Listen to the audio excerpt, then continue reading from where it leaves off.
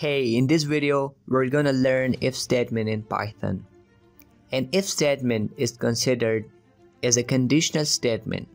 What that means is, it works on the basis of the provided condition.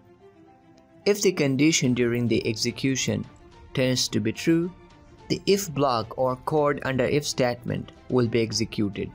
If the condition is false, then that block will be skipped. If there are more lines apart from if block, then that would be of course executed too, in case if the condition was either true or false.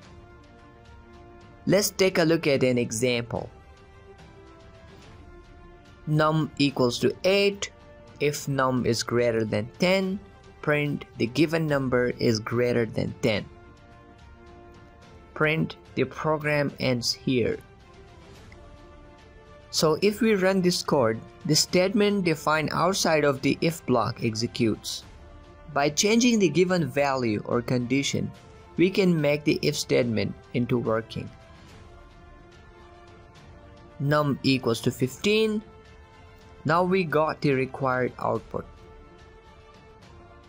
Thank you for watching.